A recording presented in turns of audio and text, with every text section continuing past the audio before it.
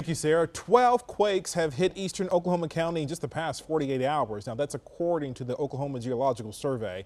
The four quakes today were all centered near Choctaw, with the largest being a magnitude 2.7.